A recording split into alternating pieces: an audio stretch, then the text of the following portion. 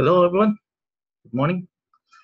Uh, this uh, video is about learning how to download the WSDL from Salesforce. Uh, WSDL allows you to integrate with your application, like for example, a website or C Sharp application.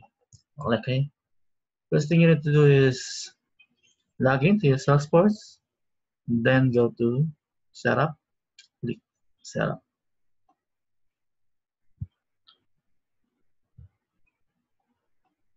And the quick find box, you need to put the API. Search for the API. Okay, and you'll see this API under integrations. Click for that. Now you can see it here, API WSDL.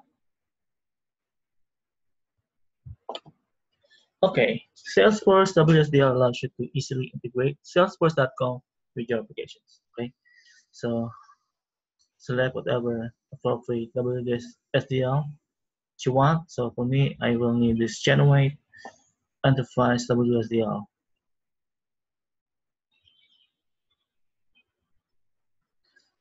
Then just click uh, the gen this generate button